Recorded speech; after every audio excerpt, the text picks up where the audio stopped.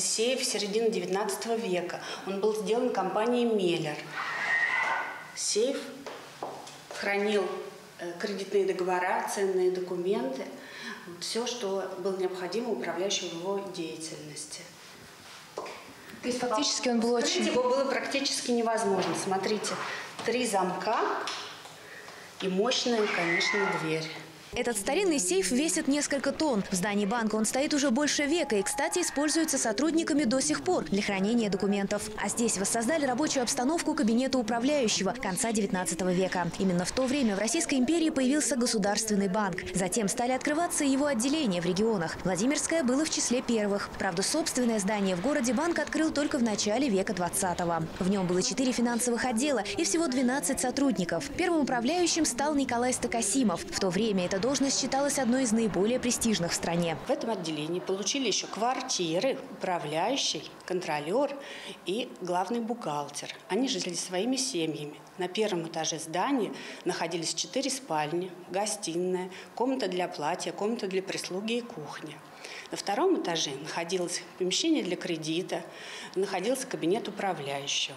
Как раз вот в нем мы и находимся. Отдельного музея в здании Банка России на Большой Московской пока нет. Сотрудники отделения рассказывают, что история здесь практически повсюду. В этом зале, к примеру, собраны все интересные факты о жизни Госбанка. Такое клятвенное обещание о верности престолу и неразглашении банковских тайн, к примеру, подписывали управляющие банка до революции. А это истории портреты людей, которые в разные периоды работали или кредитовались в банке. Среди них знаменитые фамилии – огородники Муравкины, короли Хрусталя Мальцовы. Раскрыть секреты банковского дела и поучаствовать в познавательных конкурсах от студентов-волонтеров. В день открытых дверей могли все желающие. Банк России раньше был закрытой организацией, и дни открытых дверей не проводились в Банке России.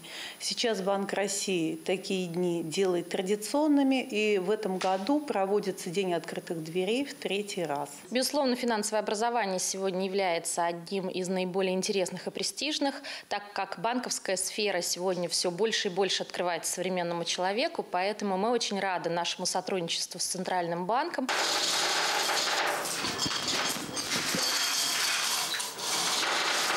Как работают аппараты для пересчета монет и купюр, гостям демонстрировали в соседнем здании Центробанка, что в почтовом переулке. Для гостей подготовили выставку редких купюр и монет, которым более века, и современные деньги. А еще эксперты показали, чем пользуются, чтобы определить подлинность купюр. И нет такого, что на один признак посмотрели и тут же определили.